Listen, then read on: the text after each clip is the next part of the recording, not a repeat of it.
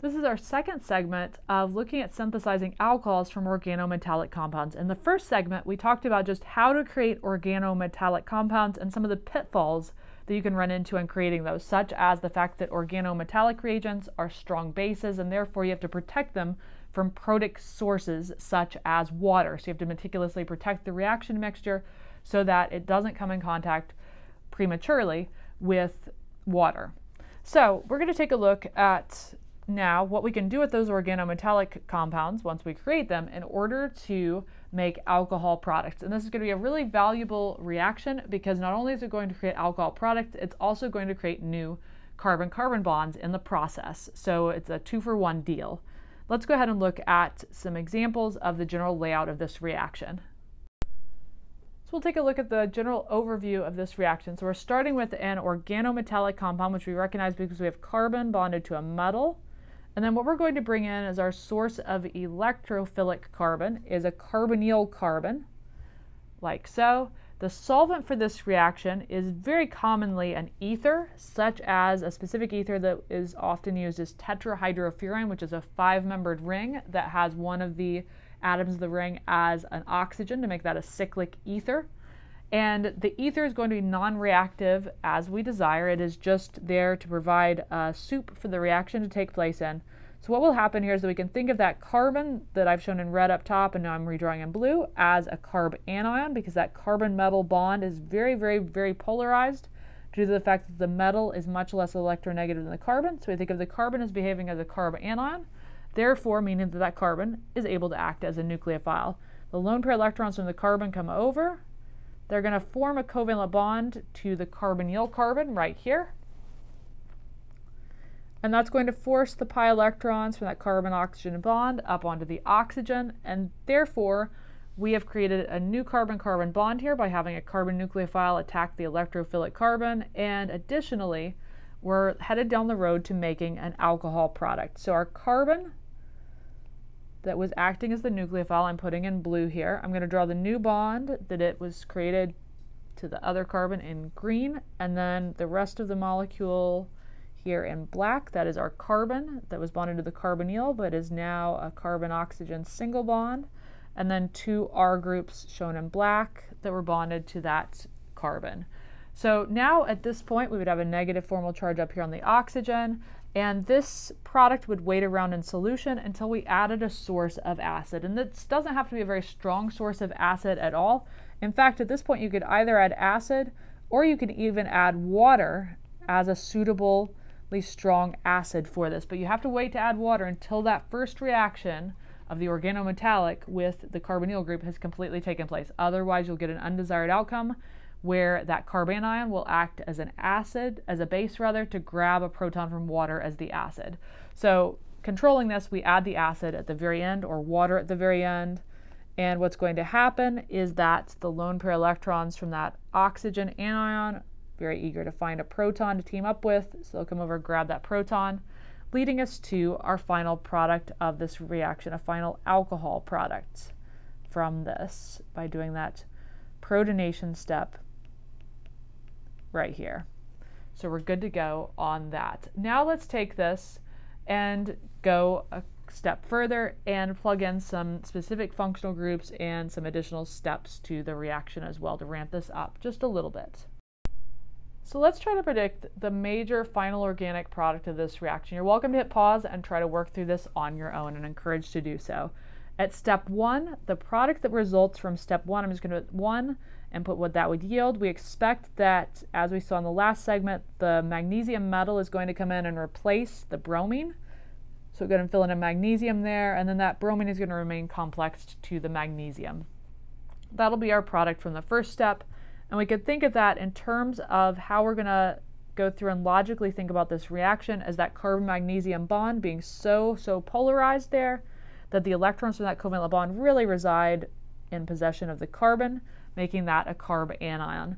So then what will happen when we go into step two is we're going to take the product from step one there, our carbanion type product or organometallic or Grignard reagent as we could call it since it has a carbon magnesium bond. That makes it fit the definition of a Grignard reagent. And our lone pair electrons come over, attack the electrophilic carbon atom, forcing the carbon oxygen pi bond electrons up onto the oxygen and giving us our product from this step. So we have an oxygen anion. And now blue bond showing that new carbon-carbon bond that we've made and that new carbon-carbon bond connects back to our aromatic ring. Remember that an abbreviated way of making an aromatic ring is draw a hexagon with a circle inside, so that's how we get that circle. There would also, of course, be a hydrogen right here that was derived from this hydrogen of the aldehyde. We don't necessarily have to show that since it's a line angle formula, but you can if you want to. So this is going to be the product that would result from step number two of the reaction sequence. And then step three of the reaction sequence is just going to be a protonation step. So for protonation, we take our proton, of course, we bring our base, our oxygen anion that is, over, grab that proton, and that's going to lead us to our final destination here of having an OH group in here. So we made both a new carbon-carbon bond within the molecule. That new carbon-carbon bond is right here. And we've also made a new alcohol group within the molecule by converting that carbonyl group from our starting material into an alcohol group in the final product. And do keep in mind in this situation, if all you were asked for in a problem was to provide the final reaction product, all you would absolutely have to write would be this. The rest of the stuff I've shown here would be your scratch paper work in getting to that final product. So we're using the mechanism here as a tool to allow us to decipher what the final product is, even if all we're asked for is the final product. I always generally like to make a mini mechanism showing some of the key steps to help me piece together what's going on and make sure that I'm not leaving any atoms out along the way. It is also always a really great idea to count at the end of your reaction that you haven't accidentally created or destroyed any carbon atoms along the way. And these reactions where we're making new carbon-carbon bonds, it's really easy to accidentally add or delete carbon atoms. So double check that you've done that correctly, that you've conserved the number of carbons from beginning to end. Let's do another example problem here. Okay, in this example problem, we're ramping up the intensity just a little bit more, creating a four-step reaction series. The first reaction is a throwback to our unit on alkynes, and the rest should be reactions that you are familiar with from the last couple of units here. Hit pause, try to see if you can do this, and then let's go from there. We start off by reacting 2-butyne with one equivalent of HCl. So we create our 2-butyne molecule. We react with one unit of HCl, one equivalent of HCl, and to decipher what the product of that reaction would be, we can kind of limp our way through it, even if we don't remember exactly what's going on, by thinking about logically what should go on in the mechanism. So we have an acid reacting with something that has pi bonds, so we expect that the pi bonds are going to come over and get protonated. The pi bond gets protonated by the acid first to give us a carbocation intermediate. So we'll go ahead and draw out that carbocation intermediate that would result here. So go ahead and draw that out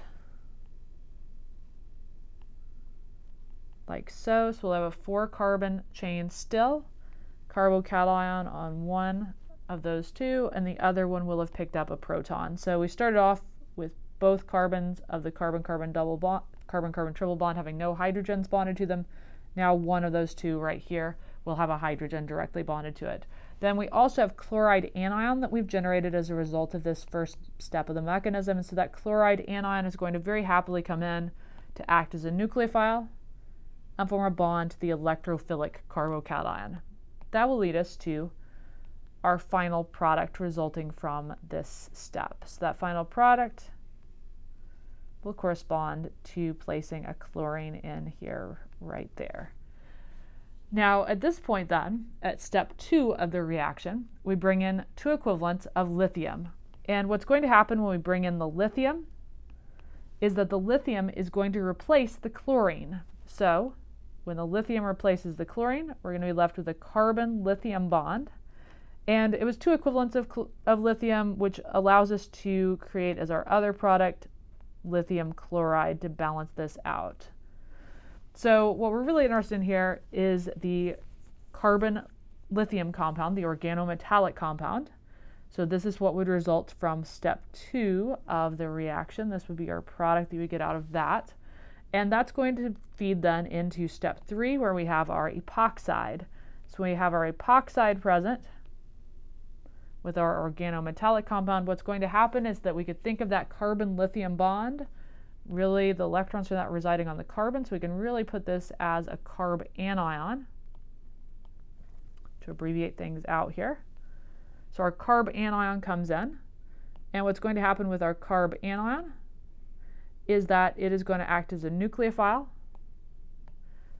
to attack one of the two carbons, the less sterically hindered carbon of our epoxide. Here they're both equally sterically hindered, so it doesn't matter which one they attack. That forces the oxygen carbon bond to break and leads us to our next intermediate that's going to correspond to having a new carbon-carbon bond in this molecule. So I'm going to put my new carbon-carbon bond here in red, like so. And then my atoms that were part of the epoxide, I'm putting in blue. There's two carbon atoms there. The first carbon atom is the one that became connected to our nucleophile, which we've got in there. The second one is that CH2 group at the end right here that's going to become CH2 and then O minus. And finally, so this would be the result of step three of the reaction. Then finally, headed to home plate here, our final product is going to correspond to just protonating that group because we can protonate it by using that acid that's available in step four, our dilute HCl. The purpose of that is going to be to just lower the pH to the point that this protonation step will take place there. We're not using so much acid that will create an addition reaction across the carbon-carbon double bond. Instead, by using a dilute acid solution, that's just lowering the pH down to something closer to a neutral pH to promote the protonation of that oxygen. Now, that oxygen is super eager to be protonated because of the fact that it has that negative formal charge, making it a very reactive location in the molecule. So if you're asked to provide the final organic product of this series, all you would absolutely have to write would be this structure right here. And you will perhaps notice that when we think about the structure of this molecule, we do have an alkene group here that we've shown in the E in the rather Z configuration, but we could also create it in the E configuration as well. So this is a Z diastereomer, and if we we're thinking about putting all the stereoisomers down here, we would expect that E would also form. And the reason why we would expect that E would also form is if we come back a couple of steps in the mechanism over to right here in this region. When we had our nucleophile chloride attacking the electrophilic carbocation, that carbocation, as we talked about a couple of chapters ago with our alkyne chapter, would be expected to be linear because there's just two regions of electron density. And that means that the chlorine can attack from the top, which we've shown here, or from the bottom, to in actuality give two different diastereomers right here corresponding to the E and Z forms here. And so since we were starting with the E and Z forms here, then what we're going to do is carry that all the way through and that will allow us to give way at the very end to both the E and the Z configurations here. So if you're asked to show stereochemistry, we need to show both the E and the Z configurations here of this molecule. So let's do another example, and we're going to mix things up a little bit this time by giving the final major product that we're trying to yield and asking what Grignard reagent and aldehyde or ketone we can mix together to give this as the final product. So this is our targeted product, our blockbuster cancer drug, or whatever you want to imagine that it is, and we're trying to figure out how to go about synthesizing it using a Grignard reagent and aldehyde or ketone. So we need to break this down and ask ourselves how we could go about creating this from an aldehyde or ketone and a Grignard reagent. I focus on the hydroxy group bond first because remember that that's what needs to originate as our carbonyl group. So thinking backwards here, we can take and look backwards to convert that hydroxy group back into a carbonyl group because that's what we have to start with something as an aldehyde or ketone. That's the specification that we're given. And we ask ourselves what that could be bonded to in order to enable us to create this product. So that carbonyl group needs to be bonded to two other groups. We could bond it, for example, to the two methyl groups here. So we could go like that. And then one of these bonds to that carbonyl group to give our final product is going to be a new bond. So we could say this is going to be our new bond there in blue.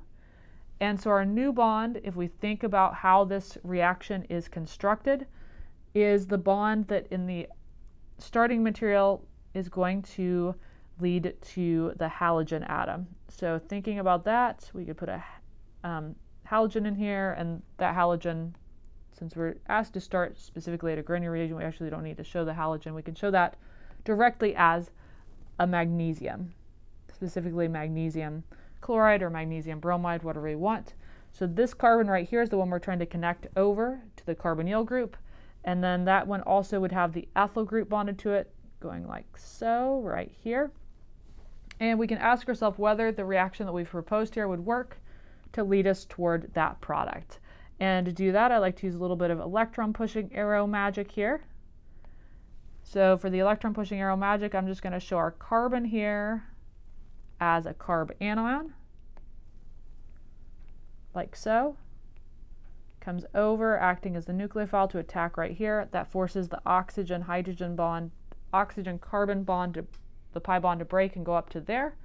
And so that would give us our final desired product after we did a protonation step. So we do this carbon skeleton corresponds to this right here.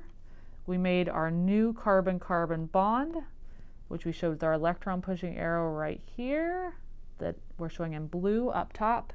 And then the groups that we show in red up top correspond to what we have in red right here. So these reagents would enable us to synthesize the final desired product using a Grignard reagent with an aldehyde or a ketone. That's one way to go about doing it is to provide as the as the molecules that you would start with these two compounds that I'm showing right here. We can ask ourselves as well, is there any other correct way to go about doing this synthesis? So to ask that question and start to address it, what I will do is draw that targeted molecule again and try to dissect it in a slightly different way. So this is our target molecule. And previously we had said that we were going to take the hydroxy group which would originally be our carbonyl, and have that carbonyl carbon bonded to the methyl group here and the methyl group here. An alternative is that we could have it just bonded to one of those two methyl groups, and then at the other R group that it's bonded to, have it bonded to the rest of this. So that would be a second approach for doing this. So let's take a look at what would happen if we tried that out. So if we try that out, I'm going to put in red here everything that would be bonded to our carbonyl carbon. So our carbonyl carbon is right here, bonded to the methyl group there, and then coming over the other way, We'd have our carbon right here bonded to two methyl groups and bonded to an ethyl group. So we could do that. That's everything that we've shown in red there. And then our nucleophilic carbon is going to need to be just actually a one carbon chain right here. So we could do CH3 MgBr as our Grignard reagent. And we think of that carbon then as what would act as our carb anion. So carbanion comes over, attacks the carbonyl carbon, forcing the electrons up onto the oxygen from that pi bond, and leading us to the deprotonated form of our product. So it would lead us to a product right here that was just oxygen with anion, and then what we could do is simply protonate that by adding acid to get to the final targeted product here. So a second totally accurate answer for this would be that to create your final product, you could take the ketone shown here with methyl magnesium chloride or methyl magnesium bromide, mix those two together in ether as the solvent, and you would get your intended reaction product minus the proton, and then add acid to protonate it. So you'd be good to go on that. So either of these two solutions are equally valid responses for the question. In the real world, if you were trying to plan out this reaction, you would have some other considerations such as the commercial availability of these compounds and the cost of these compounds. So in the next unit, what we're going to do is continue looking at ways to synthesize alcohols, and we're going to be focusing on ways to do that using so-called reduction reactions.